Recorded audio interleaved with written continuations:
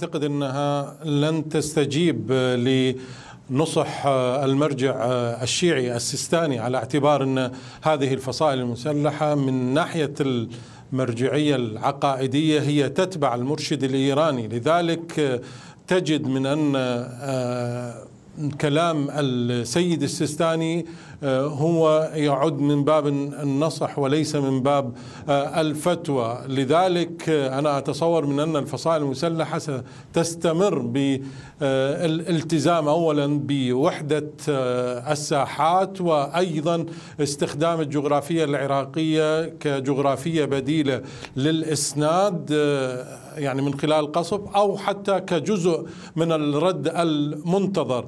أنا أتصور أنه من الرد المنتظر أنت دكتور إحسان التي صدرت تتوقع أن تكون جزء من هذا نعم. الرد المنتظر كيف؟ هل بالفعل إيران ممكن أن تقدم كما ذكرت بعض التقارير على الرد انطلاقا من الأراضي العراقية؟ يعني طبيعة التقارير ذاتها أستاذ أشارت إلى وصول صواريخ وطائرات مسيرة يعني منذ العام 2018 إيران تتحضر إلى رد معقد مثل ما أشرت قبل قليل في مقدمة آه، الخبر. آه، ولذلك آه، هذا الرد إمكانية أن تفعل إيران الجغرافيات البديلة يعني على ابتداء العراق سوريا جنوب لبنان هذا أمر وارد جدا خصوصا وأن الفصائل المسلحة العراقية لديها آه، أسلحة متطورة بشكل كبير جدا. هذا اولا. الأمر الآخر هو جزء من المباغتة والمناورة التي قد تعتمدها إيران على اعتبار أن طبيعة آه، آه، الحضور الأمريكي في المنطقة من خلال وصول طائرات بي 52 وأيضا الاستعدادات في بعض آه، القواعد الأمريكية يتيح آه، إلى آه، إيران بالتحديد أن تستخدم الجغرافية البديلة، لذلك قد لا يكون كل الرد الإيراني منطلق من الجغرافية العراقية، لكن أنا أتوقع أن يكون بما نسبته 30% من هذه الجغرافية البديلة.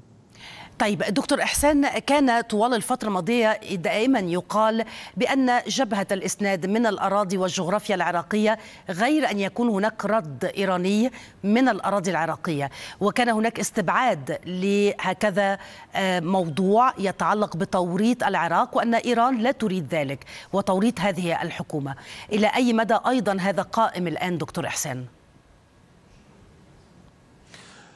يعني في فترات ماضية يمكن أن نمضي مع هذه الفرضية التي طرحتها أو حتى التي سارت عليها إيران إلى حد ما لكن طبيعة الهجمات الدورية التي تقوم بها الفصائل المسلحة هي ورطت إيران. أضف إلى ذلك بعض قادة هذه الفصائل تحدثوا من أن قرار الحرب تمتلكه هذه الفصائل بمعزل عن الحكومة آه، العراقية. آه، أضف إلى ذلك إيران الآن تعتقد أن الأمور وصلت إلى الحد التي يمكن أن تخوض فيها حرب الوجود إذا ما اعتمدت إسرائيل إمكانيات جديدة.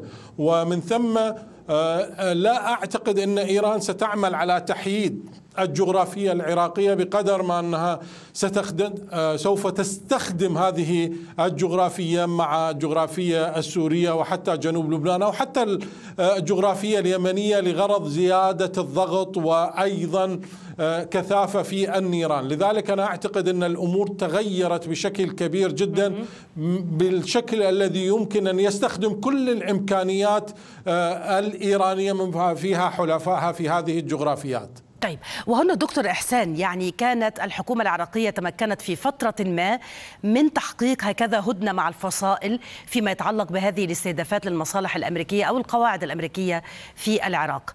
أه، حتى الآن الحكومة العراقية لا تستطيع أه، يعني حتى مستشار السوداني كان يتحدث على أن هناك حوارات داخلية مباشرة وغير مباشرة لتجنيب العراق والنأي بالعراق عن أي تصعيد مقبل. وبالتالي لماذا لا تتمكن الحكومة العراقية من التحكم في هكذا فصائل أو حتى بالحديث مع طهران في هذا الأمر من خلال المبعوثين الذين ذهبوا إلى طهران هو حديث مستمر يعني حتى هناك معلومات عن زيارات سرية رفيعة جدا قام بها بعض المسؤولين العراقيين إلى إيران ولم يتم الإعلان عنها لكنها فشلت بإقناع الإيرانيين. هذه الفصائل هي تعتمد على طبيعة الرأي أو طبيعة القرار الإيراني. هم لا يتحدثون آه، عن يعني وجود خصوصية لقرار الحكومة العراقية أو الدولة العراقية بشكل عام لكن هم آه، ينظرون بما آه، تقرره إيران. يعني وفق مرة أخرى أقول البناء العقائدي طبيعة المواجهة لا تزال أيديولوجيتهم مركزة على مناهضة الولايات المتحدة الأمريكية وإسرائيل. لذلك هم لا يضعوا في حساباتهم هذا الموضوع. أضف إلى ذلك الحكومة العراقية أستاذ إنجي هي شكلت من هذه الفصائل المسلحة. ولذلك الحاضنة السياسية للحكومة أنا أعتقد هي الأزمة بالنسبة لرئيس الوزراء العراقي. هل يستطيع أن يفتح جبهة سياسية مع هذه الفصائل؟ أنا أتصور أنه أمر مستبعد. ولذلك عملية التأثير تبدو ضعيفة جدا ومحدودة. نعم طيب نجحت في فترات الحديث سابقة لأن الصراع لم يكن في مستوى كبير جدا. لكن الآن نتحدث ما يمكن أن تذهب إلى حرب مفتوحة بين طهران من جهة وتل أبيب من جهة أخرى.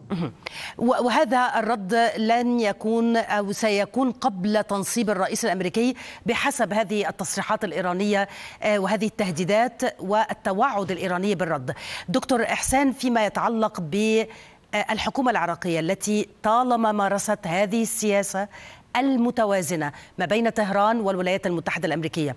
إلى أي مدى هناك أيضا ضمانات أو آه يعني شبه وعود من الولايات المتحدة الأمريكية بعدم استهداف إسرائيل للأراضي العراقية؟ وبرأيك أيضا ماذا سيكون بنك الأهداف لدى إسرائيل في العراق؟ من الصعوبة الآن أن تضمن الولايات المتحدة الأمريكية للحكومة العراقية أن تجنب آه، العراق هذه الضربات الإسرائيلية على اعتبار أن هناك تصريحات أمريكية أصلا أو رسائل رسمية وصلت إلى طهران من أن آه، أمريكا لن تستطيع أن تضمن مستويات الرد. هذا من جانب آه، يعني اتجاه إيران الرد الإسرائيلي اتجاه إيران. الجانب الآخر من وجهة نظري أن استخدام الجغرافية العراقية بالتالي سيضع هذه الفصائل في مرمى الاستهداف. وهناك حديث على أن آه، حديث إسرائيلي على وجود بنك أهداف كبيرة. أنا أعتقد أن الرد الإسرائيلي سيكون بثلاثة مستويات يعني أقل آه، حدة هو استهداف مخازن أسلحة ومقرات آه، المستوى الثاني هو قد ينطلق كرد إسرائيلي اتجاه هذه الفصائل العراقية تستهدف مقرات سيطرة ومخازن أسلحة مع عملية اغتيالات مشابهة لما جرى آه، لنصر الله. والمستوى الثالث أنا أعتقد هو الأصعب هو الممازجة ما بين الأهداف آه، آه، لهذه الفصائل المسلحة والمؤسسات المدنية خصوصا وأن هناك حديث حول استهداف بعض هذه المؤسسات المد يعني التابعة للدولة العراقية. كهرباء ومنشآت نفط ولذلك هناك حالة. سيكون له آثار كبيرة جدا على الشعب العراقي. وهذا بالفعل ما يتم آه، يعني تباحثه داخل العراق وهذا الاستنفار أو الترقب لمثل هكذا استهداف. أشكرك جزيل الشكر من بغداد رئيس مركز التفكير السياسي الدكتور إحسان الشمري. شكرا لك.